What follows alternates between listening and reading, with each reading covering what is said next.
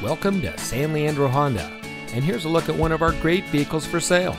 It comes equipped with Bluetooth smartphone integration, heated front seats, auto dimming rear view mirror, leather steering wheel with auto tilt away, lane departure warning, premium sound system, seat memory, leather seating, MP3 player, climate control, and much more.